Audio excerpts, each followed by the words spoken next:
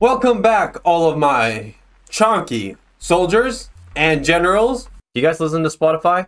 I don't. I have it, but I don't listen to it. Now today, we'll be actually working on the build of my redesign of the Simply Flawed Star Destroyer.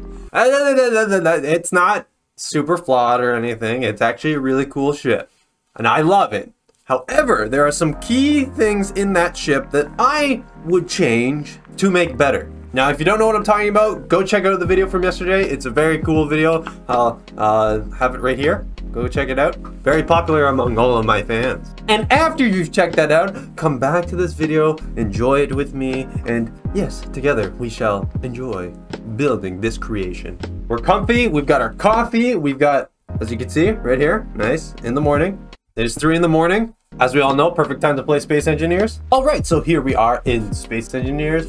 Now, like I said in my previous video, I didn't draw out the top down of the uh, my version of the Star Destroyer because honestly from the top down it's gonna look vaguely the same. The only thing that's gonna have changed is there's going to be a clear distinction of a center column and you may see divots inwards on the side where the new hangar bays are. But as a reference, we're just gonna do the outline of the outer triangle of the entire ship. So in this episode, I don't know how much time I'm gonna spend on it right now, just for the recording sakes, but I think I'm mostly gonna focus on the framework of the starship. Now, it's gonna be very big, very big. Biggest ship I've ever actually created in uh, Space Engineers. So I'm excited and I hope you enjoy this.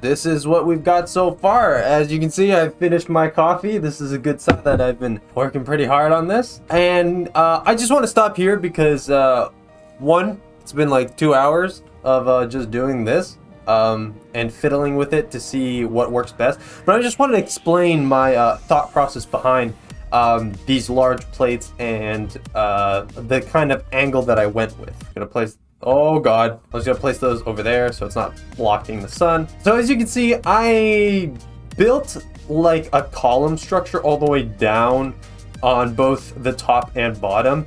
I will probably extend this middle column out like this one. Um, if you notice on the Star Destroyer, it has this kind of raised and flared out area. Um, it's on the actual Star Destroyer, it's at the same angle as well, the rest of the ship. But unfortunately, this angle is just way too steep to make this angle coming from uh, the border of the Star Destroyer all the way in.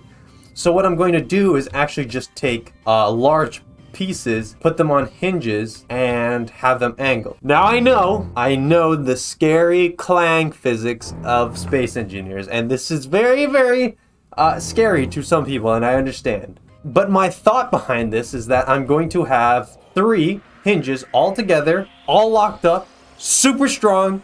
There's no way that it's going to be like jostling, tossing, and turning. I'm going to have welders on each of these columns to really make sure that in battle, if it gets shot at, they're protected to a degree that, you know, they're going to last. So if a ship does target um, here on these hinges, at least you know, it's got some welders to uh, repair it, as well as have some decoys along the ship. Also, each kind of mounting point will be in the middle, that way that each of these uh, structures will be protected in the central area of the Star Destroyer. Another thing that I'm thinking of is near the ends or the outside, or even just near here, I'm gonna have landing gear to actually just hold and lock the plates in place so that they don't move. And if they do end up breaking the hinges, I still have the landing gear to kind of just hold those uh, plates in place. And yeah, I think it's pretty obvious why I'm doing this. You can only really get that nice clean angle if you do that with your plates. And in the sense that if you put a plate on a hinge, you can actually control the degree rather than just having either a 45 degree or uh, whatever degree this slope is, you can make it a, a one degree slope, uh, which is basically what the Star Destroyer is, is it's kind of like a 5, 10 degree angle sloped all the way down. And I think putting it on a hinge will allow me to have the best result. This is not a unfamiliar concept to me. I've played around with hinges and making sloped armor before, and uh, Mr. Pickles actually has made his own variations of Star Destroyers in the past, and he's used this idea, and it works relatively well. We've even battled, and, you know, they stay together pretty well. Another thing I have is this uh, separately colored rim all the way around. And it is a little bumpy, but what I think I'm going to do is actually make it even more uh, uneven and bumpy and, you know, uh, have random blocks kind of sticking out, maybe some sensors and stuff all the way down. Because if you actually look at the Star Destroyer, it has all these amazing, which really make a Star Destroyer look as cool as it does, these little greeblies, and you just kind of let your imagination run wild on what they could be. So like antennas, little vents, maybe um, uh, sensors, comm arrays, all of that, viewing ports, all of the good stuff. And as you can see on the command bridge, I've got the basic idea of what I would like the command bridge to look like. Uh, you may say it's very basic, very flat, and uh, someone mentioned this in the comments, and it's exactly what I was thinking. Um, it's kind of like a Resurgent class command bridge in the sense that it's tucked down, it's flattened out, and but we're still going to have the shield generators on here. And what I am planning to do, it's going to be very awesome. I'm really excited to continue to build this. But we're probably going to have tunnels coming out here and then covered on the top. And then it's an actual shield generator room that you can walk around and operate on this shield generator specifically. So you don't have to get out of the ship. The shield generators will be accessible and you can totally repair your shield generators without having to like worry about being attacked or anything. I'll keep that this color. It doesn't really matter. I'll change it later. But yeah, I'm actually super excited to uh, finish this build. This it, this is a really good uh, series for me because now I actually have somewhat of an idea of what I'm going to be doing uh, each episode of Space Engineers. And I'm going to have so much fun doing it. You know, uh, I can work on specific parts in each episode and uh, I really hope that you guys enjoy and, uh, you know, leave me feedback. Let me know what you think I should do or add to the Star Destroyer. And I will definitely consider it. And if I don't add it, don't be mad. Uh, don't take it personally. I just, you know, I like my ideas. But I'm loving the way it looks. Like, it still has that menacing Star Destroyer feel. It's still the SD1 and SD2, all of the SDs. But it has that tucked feel, like that nice, you know, you know it's going to be protected and it's going to be mirrored onto the bottom. Uh, essentially, it's going to have uh, guns mounted all the way along this column. Not on every little mount port, but uh, a lot of them. This thing is going to be armed to the teeth. Just for a size comparison, uh, I redesigned my Basilisk again.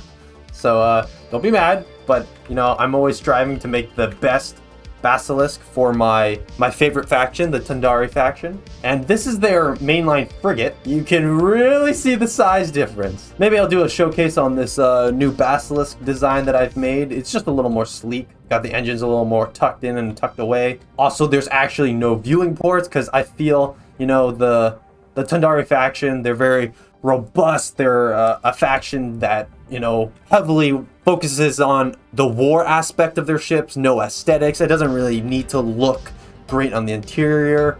Um, but this isn't about my Basilisk. Just just an idea of like a, a size comparison. But yeah, so uh, you can tell that the way I class my ships, a battleship, which is what this Star Destroyer is, is basically, it's honestly like three of my frigates long. Three, two and a half frigates long. And a cruiser is in between the frigate and the battleship. So, in my opinion, I feel like these sizes make sense. Again, I can make a video about it in the future. But yeah, so uh, stay tuned for the next episode. In the next episode, we will be adding the plates to the ship, as well as uh, flushing out the exterior, making it look a little more uh, flush, figuring out exactly where the gun mounts are going to go, and then we will design the interior, the how everything's going to be hooked up, how we'll have a whole separate episode for designing our own guns and cannons for the Star Destroyer, specifically the octuple barbette turbo lasers. And I know there is a mod, and it's a really cool mod, but I think I'd feel a little more comfortable building my own because I get to play around with the scripts, some of those awesome AI turret scripts. I've never actually used the AI turret script, and I'm very excited to test that out. So yeah, I hope you're as excited as me. But that's all I have for this episode. Thank you all so much for watching. If you enjoy, please consider leaving a like. And if you're not subscribed already, what are you doing? Become one with the Chonker army. You will become more powerful than any soldier in the galaxy. If you guys want that Discord server, Tell your friends about this channel. Let them subscribe. Once we hit a thousand subscribers, boys, we get in that Discord, dis Discord server, and it's gonna be fucking awesome. We're gonna play games all the time, all the time. I might not be on all the time, but we will. It's gonna be a big community, bigger than PewDiePie. Uh, probably not, because half of you are probably already a part of the Bro Army. But we all know the Chonk Army is where it's at. Am I right? Am I right? Thank you all so much for watching, and as always, stay healthy, stay lovely, stay strong. Most importantly, stay chonk. Your Lord, Chonkers out.